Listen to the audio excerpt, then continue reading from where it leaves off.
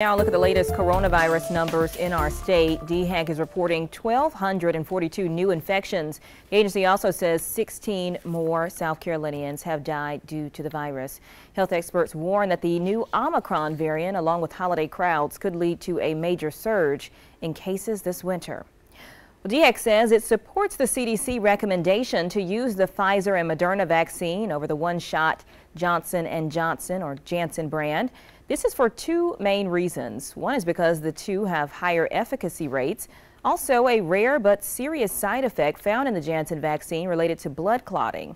The Janssen vaccine will still be available for people who are unable or unwilling to take one of the other versions.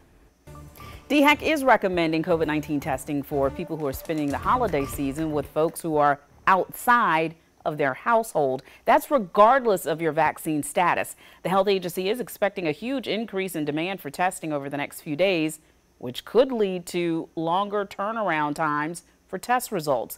That's why they're urging you to get tested on or before this Sunday. There are, are testing opportunities throughout the Midlands. You can find one near you by going to our website, that's WLTX.com.